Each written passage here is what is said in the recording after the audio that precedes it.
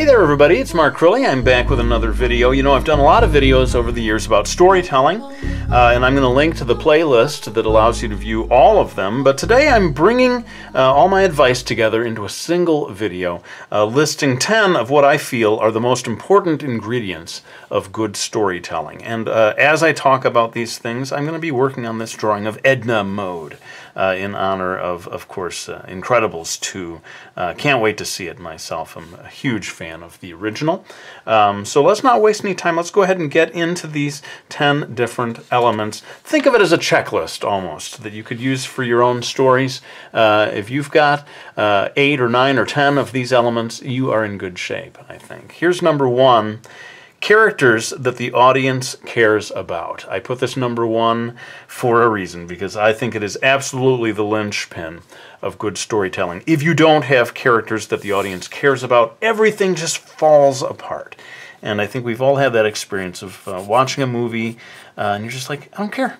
I don't care about th these people. I don't care about what happens next. If you don't connect to the characters, everything falls apart no matter how many fancy, amazing action scenes uh, you write, no matter how original uh, your ideas are. You've got to have characters that people care about. Now, there's two different things that are, I believe, required to uh, get to this stage of us caring about the characters. One, you just need to spend some time with them.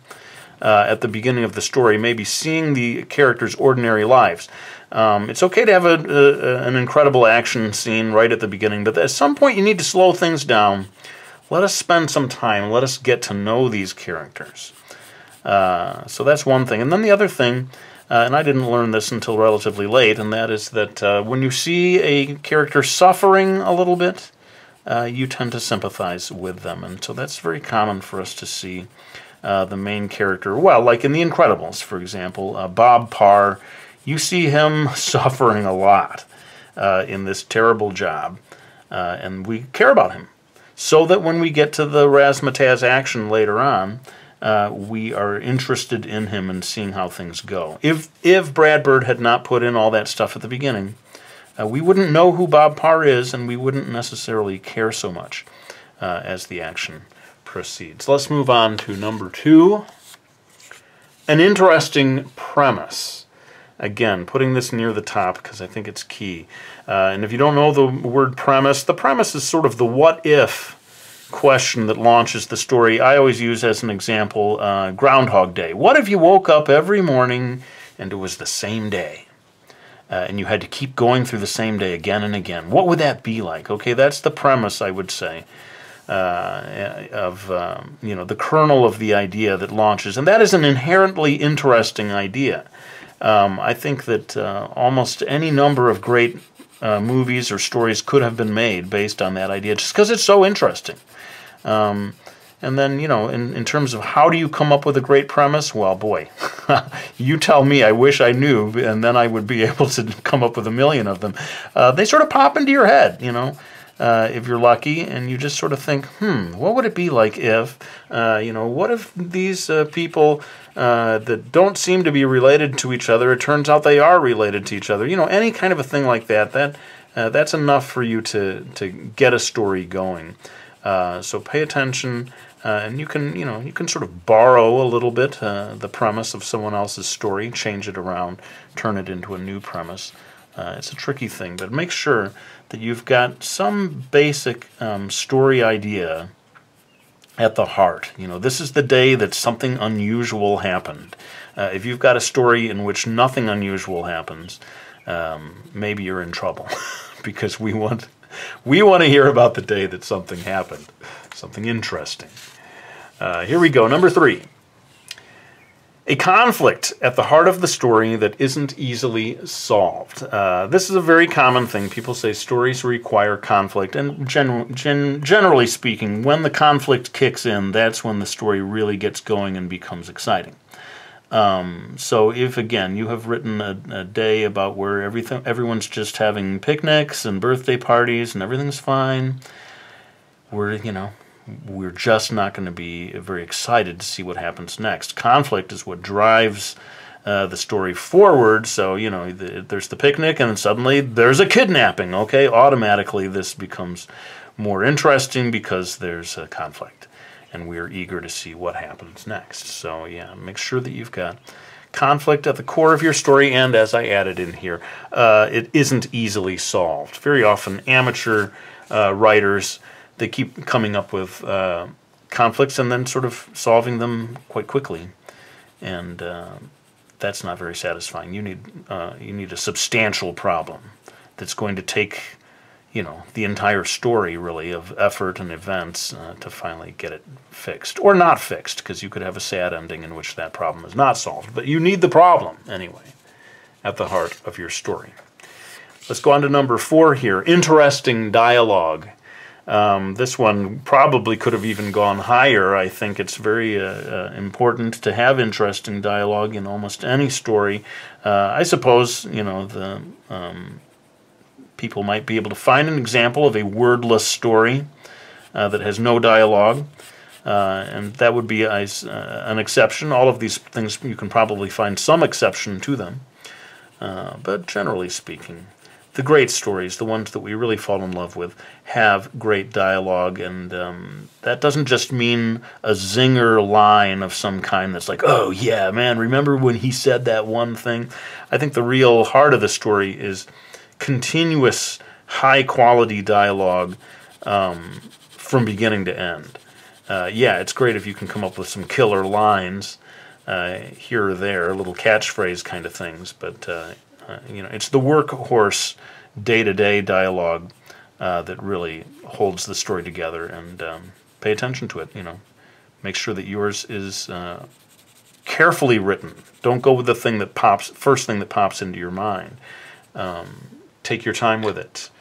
Scratch things out, rewrite things, try to improve it. Let's move on now to number five moments of humor, even if the primary tone of the story is serious. Uh, so, again, you can probably find examples of stories that have almost no humor at all, but I would say the vast majority of uh, the stories that we love are going to have elements of humor. Of course, if it's a comedy, then it's dominated by humor, and then it becomes kind of the opposite in that situation of uh, the comedy needing some elements of seriousness. Um, but um, I guess uh, in a way, I'm trying to cover both of those ideas with a single um, ingredient here. That is uh, a balance between humor and seriousness.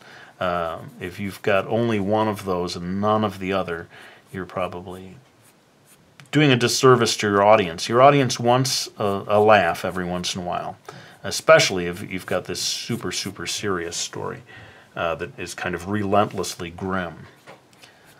Let's move on now to number six surprising twists, developments that are unexpected but still make sense within the construct of the story.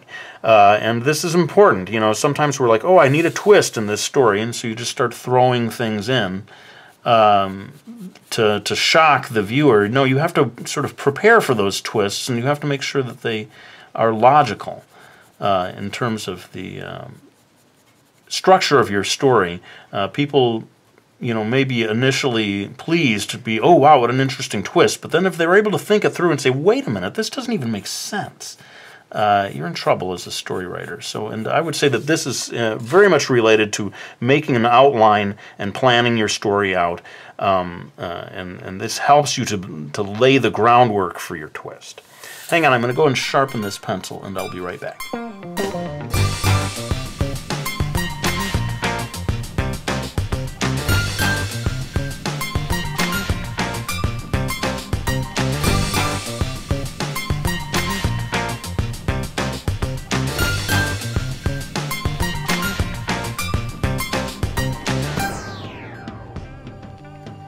Okay, well, as you can see, I decided to go ahead and uh, carry the drawing through to um, near completion so as to be uh, done with it when we wind down the video. But we do still have a few more of these uh, storytelling ingredients to share. So let's move on now to number seven.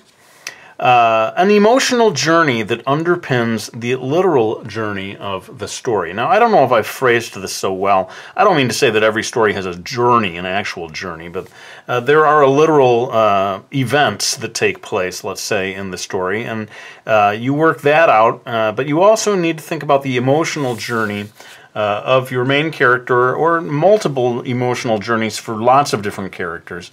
Um, just uh, in general, uh, really good storytelling goes beyond the, the factual sequence of events to having a sort of a second uh, emotional story underneath.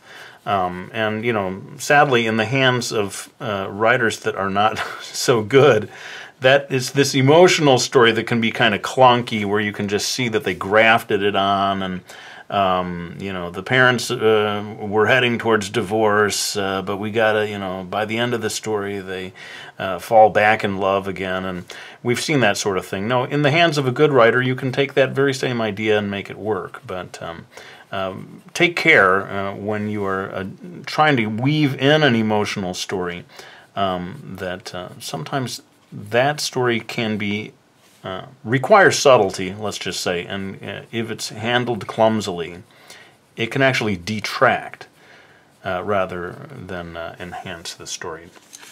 Let's go ahead and move on to number eight.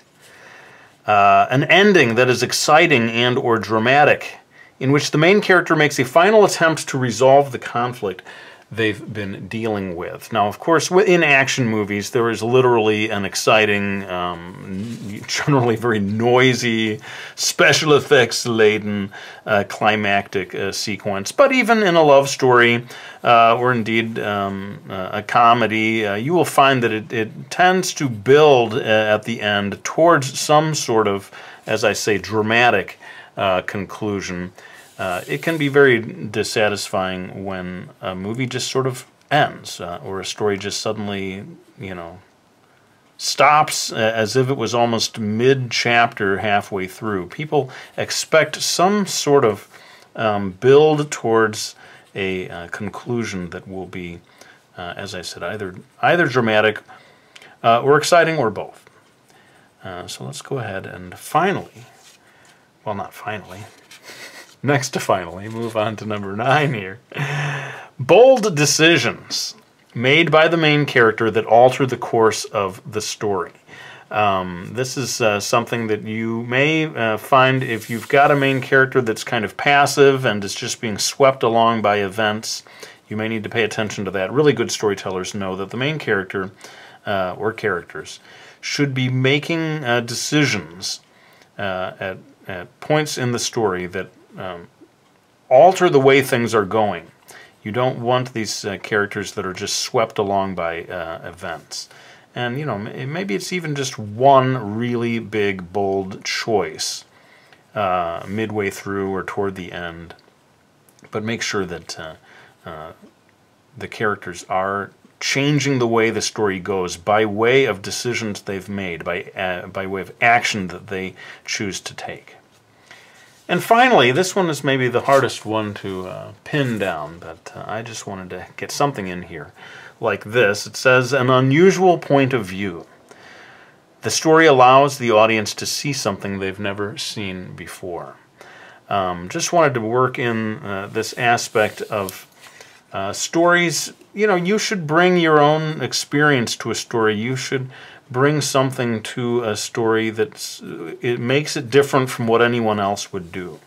Uh, and the really great storytellers know um, that you know they have a voice that's all their own. Uh, there's something uh, on top of all this other stuff that we've been talking about today that just makes it distinctive.